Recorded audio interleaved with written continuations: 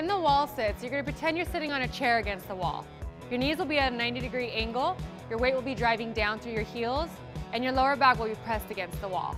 Remember, if you're getting tired, try not to let your body creep up the wall and try to keep your hands off your thighs.